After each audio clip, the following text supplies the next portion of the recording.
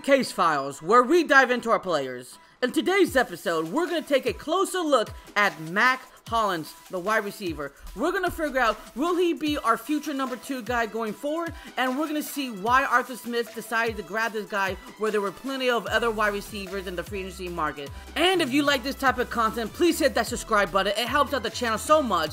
So let's carry on with the video. In week two, against the Arizona Cardinals, Mack Hollins had an average game. He was targeted eight times, he caught five balls, and total yards was 66. So the reason why I put an average game because in the first quarter he was dominating. He was catching everything that he was targeted at.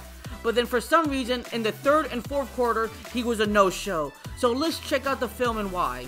On this play, it's kind of hard to tell, but Hollins is going to use a curl route where he goes upwards and then he's going to cut, stop, and watch where Derek Carr is moving, and then he grabs the ball for 20 yards. And the reason why it was so easy for Hollins to get that incredible curl route with 20 plus yards was because he was playing against the Arizona soft zone coverage 3. So on this play, we're going to see how Hollins handled himself when it comes to the run game. I like it already where he goes after the safety, then making sure that he gets locked and loaded, and that leaves one-on-one with the running back, and he wins his individual matchup to gain this amazing yardage.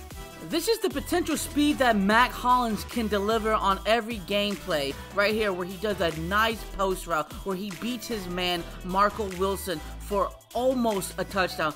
So usually when a post route happens, they go upward and then they're going to cut to the right side, but instead he decided to cut to the left to confuse Marco Wilson, and he won his individual matchup. So that's fantastic for this big guy. So on this play, Hollins is going to use a dig in route, but the problem is he doesn't use his extreme speed to get separation, and then that makes Derek Carr throw it away because I'm presumably thinking that he can't catch the ball or some reason, but this is kind of like both players at fault. This is a great blocking play call by the Raiders. So they're going to use Mack Hollins to making sure that he wins his individual matchup. So that means that Davante Adams get a clear coverage to go into the red zone for this touchdown. On this play call, Hollins going to use another curl route going against Arizona playing a soft zone coverage for some reason. That leaves all this free wide open space where Hollins just quickly, look how he uses his feet, his motions, and uses his arms to try to get more yardage. So on this play, we like to call this in the business a go route, where you just go straight and hopefully you catch this ball for a touchdown. But unfortunately for Hollins, it does not come into fruition.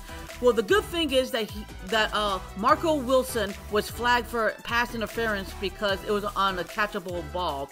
But I thought Derek Carr could have thrown a little bit better uh, more a little bit more accurate, but then again, Hollins outdid speed his man, so I blame this on Derek Carr.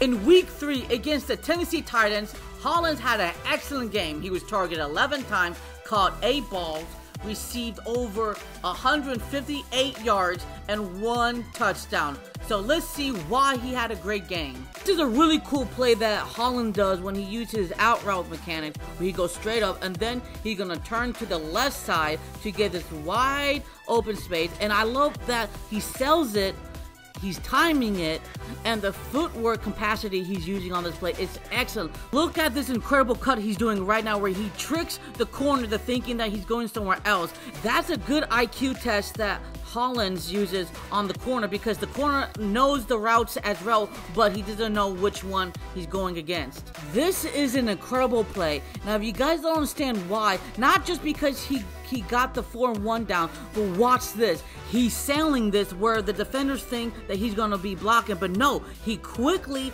does that for in the beginning of that one split second, and then he goes to the right side to get this incredible first down. So on this play, we have another go route, but this time Hollins does connect with the ball because Derek Carr gives him a perfect aim, perfect position, and perfect timing as well. And also, Hollins uses nice foot mechanics to get extra yards. We're going to see another out route that Hollins used, but watches how he uses his body to trick the defender thinking he's going somewhere else to give him a little bit more separation to get extra yardage on this play is all about timing, and Hollins was, I believe, to be in a corner route position where they they he didn't get enough separation where he could make a big play, and also the corner was almost as tall as him, so kind of cancel each other out. So on this play, Hollins is going to use another go route, but for this one, it's all about skill and timing and the mechanics of him getting enough separation where he can grab this and the angle of how he contorts his body is so incredible on this play. Look at this, he just goes straight for 20 yards plus, doesn't realize it until at the very end he sees it is coming towards him. On this play, Hollins is going to use another curl route, but this time at the red zone, he catches the ball. So what's the difference? For me, I think it's easier for Derek Carr to see where Hollins is going to be matched up. And also, Hollins has a lot easier time to get separation, where clearly the defender is not tall, but he's not small either, but is enough to grab Hollins the ball because he can use that extra step. In week 10 against the Indianapolis Colts, Mack Hollins had a bad game game. And why do I emphasize the extra game? Because it's not the first time he was a no-show against the Los Angeles Chargers, both against the Kansas City Chiefs games, the Jacksonville Jaguars, Los Angeles Rams, the Pittsburgh Steelers, where he was a no-show. But I want to cultivate all those together in one bad game so we don't have to go through all that palava. So he was targeted six times, caught two reception for 18 receiving yards, and zero touchdowns. Let's check out the film why. I personally don't like this play call because I don't know what Hollins was trying to do on this go route, and then Derek Carr just lobbed it up to see what happens. I think both parties were at fault. So on this play, Hollins doesn't do a great job of doing his dig in route because he gets jammed way too early before Derek Carr can give him the proper ball because you see right here where he's he's up in the top and he's trying to go to the right side, but the defender is draped all over him. A lot of times we're going to have plays like these where it doesn't matter who wins their individual matchups or not. It's all about timing and making sure you're accurate as possible to connect. But unfortunately, it just doesn't go their way. On this play, this is the first time that Hollins catches the ball and it's a weird curl route. But even though he catches it, he looks where he needs to go and goes plant his feet forward. So this is just an easy play action pass, get five yards, but even still, it might not be sexy. It's still nice to know how he can use his foot mechanics. In week 11, against the Denver Broncos, Hollins had an excellent game where he was targeted nine times, caught six balls, and gathered 52 receiving yards.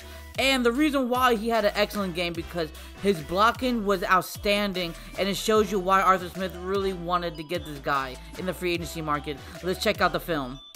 This is a pretty cool play on Hollins when he's using another curl route, but if you notice that he finds separation, creates more room to get him an open space to go and grab this first down. On this drive, we can see Hollins going to use a cross-locked route where he's going forward and then he's going to cut to go to the left side to try to get more yardage. And this is a really cool concept right here where you see this where he gives himself enough room so he doesn't get bumped and gives himself also enough time to adjust where the ball needs to go to try to pick up more yardage. So Hollins was in a wide cross play, and for some reason, I don't understand what happened or what messed up because I don't have another angle to go by. But even still, he was almost never covered, and that's usually never a good thing. So we have another blocking play that I really like how Hollins takes control against Kareem Jackson, where he doesn't manhandle him where he throws a penalty, but he does enough to push him way back to making sure that the running back gets enough yardage. We have another run block play to show you where he's going against Jacob Martin, the outside linebacker, 54, and then he's going against Kareem Jackson, number 22, the safety again, to make sure that Josh Jacob has enough room to make a major impact in the run game. We have another amazing play in the run game where he's going against Damarri Mathis, the cornerback, the rookie cornerback out of Pittsburgh. And look how he just pushes him through just enough to making sure that he does not hit the running back. On this drive, Hollins is going to use a cross route, but unfortunately Derek Carr gets pressure and he doesn't have enough time for him to connect to Hollins. So I don't know if it's supposed to be a proper comeback route because Hollins does not stop on a dime, especially on a 45 degree angle towards the sideline where we clearly see that. My theory is that Derek Carr was not patient enough to allow Hollins to get in his proper form. So on paper, this is going to be a simple dig route, but he gives himself so much space and awareness where he needs to go to make sure he doesn't get touched. We have another run play where he's going against Justin Simmons, number 31, the free safety, who's a baller, and he does whatever he needs to do to make sure that he doesn't get near the running back. This is a good example that not every play has to be a banger. As long as your quarterback has some trust in you, you should be fine. For our final game of today's episode, we're going to watch Week 18 against the New England Patriots and Hollins had an excellent game again where he was targeted eight times, caught four receptions, and had 40 yards and one touchdown to boot. And there's a lot of other things he did well in this game, so let's take a closer look. So it is kind of hard to tell, but if you look at the very top, Hollins is going against Jonathan Jones, the cornerback number 31, and he still does a great job to making sure that Jonathan Jones doesn't get near the running back. We have another amazing run blocking play by the wide receiver Hollins, where he's going after Devin McCourty, the safety number 32, where he's pushing him back to making sure that he doesn't even get close and touching Josh Jacob, where he's pushing way back. That's amazing to see. So the quarterback is at fault here because Hollins does an excellent job on an out route. And before you see any anything else, you're thinking of, well, it's clearly Hollins didn't catch the ball. No, Hollins did an incredible job getting down the field, then create enough space where he's wide open right here on this field, and then Derek Carr just hesitates to not throw him the ball. So we as fans going to see a lot of simple plays like these where he's going to do a simple route, but what's good thing about it, he checks his surrounding and making sure he finds extra yardage as possible. So on this touchdown drive, we're going to see the incredible hands that Mack Hollins has, where Derek Carr for some reason goes really low and it looks pretty hard to catch.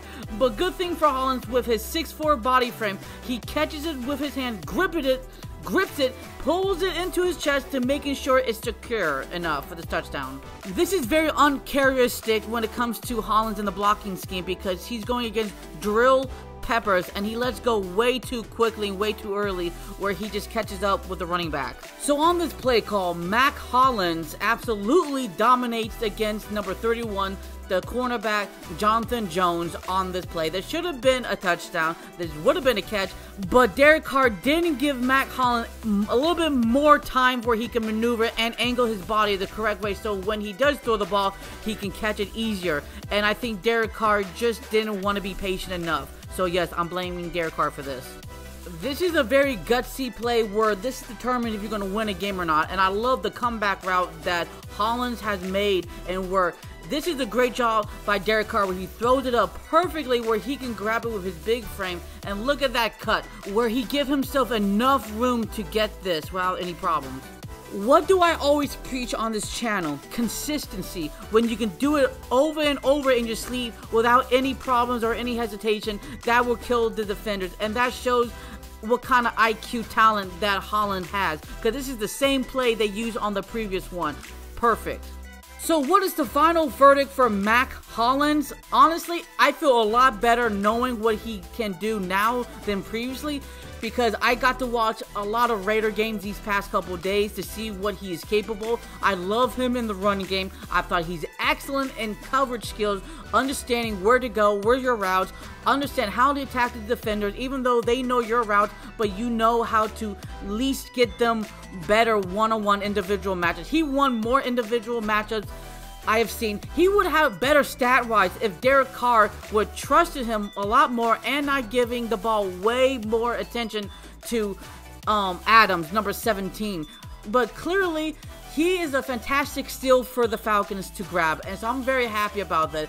Uh, my confidence levels were so very low when we got him, but thankfully I got to see what he can do, and hopefully he can replicate that with the Falcons, and I think he can because Arthur Smith will put him in the right positions to get him more yards, and this is a big upgrade for Desmond Ridder to use for his brand new toy, and a lot of people were saying he could be the Mohamed Sanu for us, and yeah, I think he can be. So I'm very excited for this. So this is definitely, I think, on paper, an A plus deal in my book.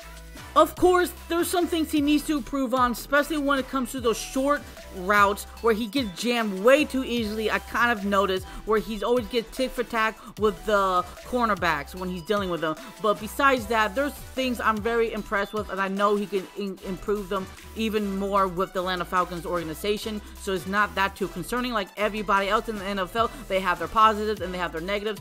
As long as you acknowledge the negatives and you can build on those negatives, he will be all right. So on that note, if you like this type of content, let me know by hitting that like button, share this video with your friends and foe, and if you guys agree with me or disagree me on this video, hit that comment section below and we could definitely talk it about it. So thank you guys so much for watching these type of videos. I really enjoy making these videos and I, hopefully I can continue with the process for for many years as possible. And if you would be so kind and generous, would you hit that subscribe button? It helps out this Falcon Empire so massively. You guys won't understand it. I am so grateful for even you guys watching this video. So thank you from the bottom of my Falcon heart. I really do appreciate it.